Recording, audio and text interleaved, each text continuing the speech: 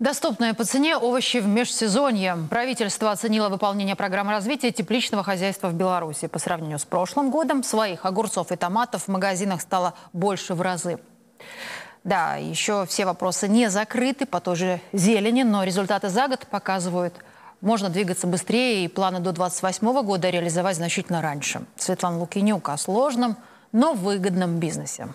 Год назад здесь говорили, как вырастить своих овощей больше. Старые теплицы не давали нужные объемы, да и над себестоимостью пришлось поработать. Правительством приняты механизмы льготного кредитования, снижены тарифы и на энергоресурсы, которые в цене занимают половину, а также дана возможность централизованно закупать нужные ресурсы. Сегодня уже есть результат. К примеру, вот Минская область а, в 2023 году а, более чем в три раза увеличила производство огурца за счет этого хозяйства и других. То есть есть весь огурец, который вы покупаете, это практически весь он белорусский.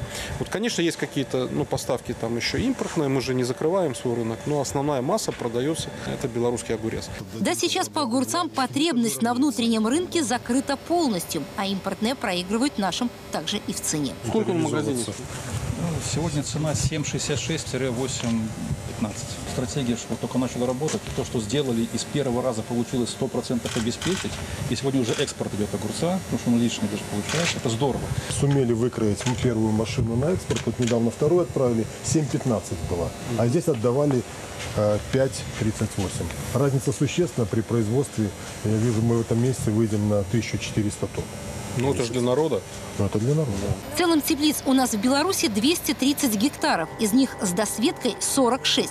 Год назад было только 30, и вот это первый опыт выращивания, например, томатов с досветкой. Площадь за 2 гектара. Да, трудозатраты немалые. Огурец готов к отгрузке в магазин за две недели, томату нужно намного больше времени. Солнце здесь в теплице светит 18 часов в сутки. Говорят, нужно не меньше. Но чтобы вырастить вот такой красный и спелый томат нужно не меньше, чем 39 дней. И своя технология, которую мы пока постигаем.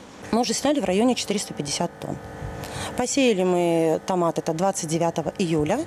И 28 октября, ровно практически через три месяца, мы получили уже первые плоды. И вот получается, что у нас ноябрь, декабрь, январь и вот середина февраля мы стали 450 тонн томата. Собирают примерно 5-7 тонн в день. Конечно, это только начало. Да, были ранее разговоры, что дело это не прибыльное, и лучше импорт зимой привозить, чем свои с досветкой выращивать. Но результаты говорят об обратном. Мы посчитали, что этот томат за оборот ну, мы понятно, что эту цену положили на вот текущий год до мая месяца, угу. такую эмпирическую, расчетную. Должен дать примерно 3% рентабельности.